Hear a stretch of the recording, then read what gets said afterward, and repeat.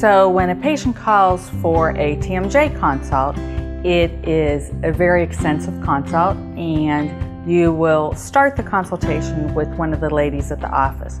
All of my girls are highly educated. They attend every conference with me, so they pretty much know what I know. Whenever you come in for the consult, it's not a 10 minute consult.